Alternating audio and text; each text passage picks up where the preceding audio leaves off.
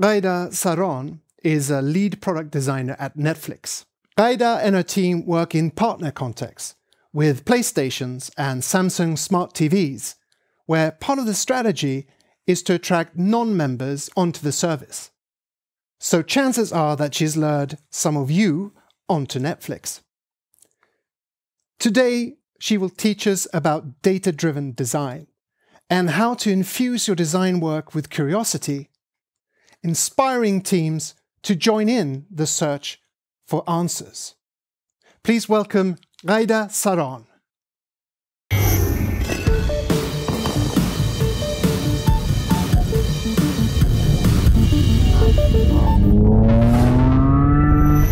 How many times have you seen a product roadmap like this? A list of features that are predefined, solutions looking for problems, hammers looking for nails. At best, a problem may have been identified through some research. A group of people or a person may decide there's a specific solution that can be applied to solve that problem. And that solution ends up on your product roadmap. A designer then draws a picture of that solution and if your organization is privileged with experimentation capabilities, your solution will be created as an A B test. Now, an A B test, for those of you who don't know, is a way to run an experiment with your product to understand what might be the best possible way to solve a problem. So, you form a hypothesis about the solution. You select two groups of people, group A gets solution A, group B gets solution B. Whichever solution improves the metric you're looking to improve, now you know that would be the solution that you should probably productize in your product or service. But A B testing is not a substitute for curiosity. In fact, it can be detrimental to learning a tool engineered to prove a point rather than to learn. So consider such a roadmap to be an invitation to reveal underlying problems, to turn your product roadmaps from roadmaps of features and solutions to roadmaps of problems. Or better yet, roadmaps of questions. Now, I was trained as a graphic designer, meaning I was in a program created to produce future art and creative directors for advertising. I've always loved having an audience, and I thought advertising would be great because I would get to use my artistic talents while also getting lots of opportunities to present to different audiences. It took one internship for me to realize advertising was not for me, and I switched to interaction design. But that was when I realized I lost my playbook. Advertising has been around for a while. Its methods are fairly mature and well documented. And while they've evolved drastically over the years, advertising is all about selling. And no matter what terrifying new examples of advertising we might encounter, it will still be about selling. And that includes a designer selling their design to clients. This was my training. Many years ago in Saudi Arabia, where I grew up and spent most of my life, advertising agencies designed all of the websites, and UX wasn't really a thing. Now there are a lot of people doing great UX work in Saudi, but 15 years ago when I was working there, that wasn't really the case. The market was full of Flash websites that crashed your browser, didn't work on your shiny new smartphone, and were just generally an awful user experience. So I saw an opportunity to start a user centered design studio. My first business partner at that studio gave me one of the most valuable pieces of advice that I received in my career. He said easy on the used car salesman voice. Now, in the US, there is a trope about used car salesmen using shallow sales tactics to sell you something you don't need. My partner's advice made me realize that I was so caught up in selling our solutions that I never really stopped to ask what problems we were solving. I realized my training was getting in the way because I was trained to to sell and not to question. 15 years later, and I still think about this advice. I'm a naturally enthusiastic person. I'm loud, I like to talk with my hands, and I like to please people. When I present a design, I, deep down inside, I want it to be great. While I'm presenting, I want there to be an odd hush in the room. And when I'm done presenting, I want the room to be awash in oohs and ahs and applause. But when I'm enthusiastically selling a solution, I'm not really exploring. And the beauty of our space is the freedom to play and explore. And not only does in too much enthusiasm for a solution leave little room for exploration, too much enthusiasm can silence dissent from the very people that can help you form better questions. So now almost every design review that I do, whether it was with a design team or with a team of cross-functional partners, I frame as an invitation to dissent. And I invite you to do the same. Encourage your teams to do the same. To see a roadmap of features and solutions and turn it into a roadmap of problems. Problems that can be solved through a series of questions. Because design is the question, it's not the answer.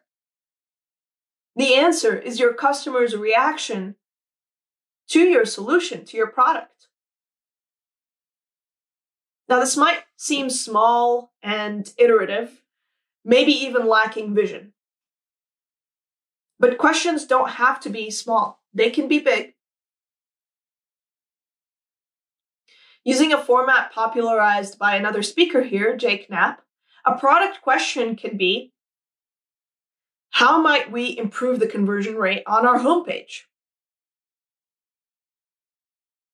Now, this is a pretty small question. It can be impactful to your business, but it's a small question. It's limited in scope to the homepage. You're looking to move a specific metric, which is the conversion rate. The solution set that can come out of this problem is limited by the nature of the question. And that's okay. Not every question needs to be big. But they can be big. For example, how might we improve perception of our product in Turkey? This is a really big question. Turkey is a very big and diverse place. Perception can be interpreted in so many different ways. We're not talking about a specific area of the product, or we could be. That's an open question.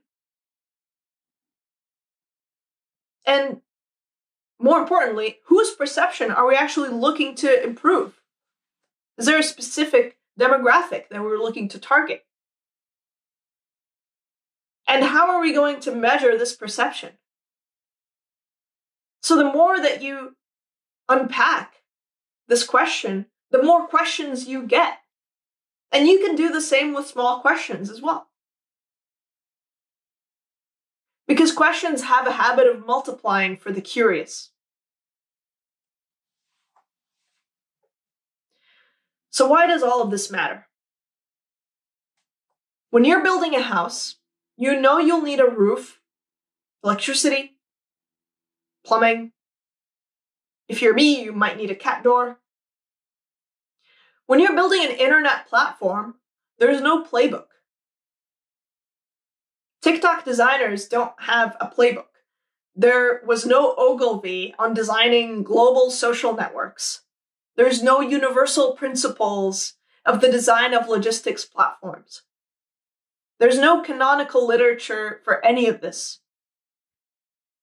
And there certainly is no one process that can be applied to solve every problem. So for us to assume that we have answers to any of this, well, that's a really big assumption. Because how can there be industry wide best practices when there really isn't one industry that we're in? Is Airbnb a tech company? Is it in the travel industry? Is it tourism? What about Uber? Is Uber in tech or logistics or public transportation or food distribution? The lines are blurry. And so we have to approach our work with curiosity. Now, this can be shocking to designers entering the field. We're an idealistic bunch. We want to shape the world and we want it to be beautiful. But just as there's no one standard of beauty, there are no best practices. There's no one great design aesthetic. Especially when you're designing for people all over the world. And as design leaders, our task is not to instruct new designers entering the field on how they should design or what the best practices might be, because we don't know. Our task is to help designers get curious. So, how do we create that culture of curiosity? Well, first of all, explaining your thinking. We've done a lot of that over the past few minutes of this talk. So I'm not going to get into it now. But an even more important way to help create a culture of curiosity is to be vulnerable. Vulnerability is something that I'm intimately familiar with. It's part of my everyday life. Because every day I come out to someone new, almost every day. And coming out is a kind of a question. The question is, will you accept me? Now, the thing about questions is that you have to be willing to accept the answer, even if the answer is not to your liking.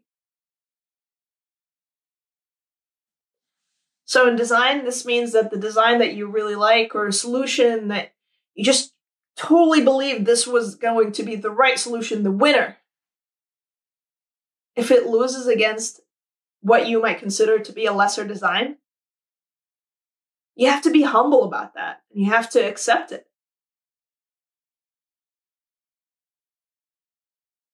So you have to be willing to accept that you are wrong. And better yet, you have to be willing to share with your team that you were wrong. Demonstrate that vulnerability. Now, an even better approach is be to be enthusiastic about being wrong. Because you just learned something new, and that's wonderful. I would argue that can be way more valuable than short term gains or lifts in conversion rates or whatever the metric of the day was that you were trying to move. Because you produce knowledge for your team.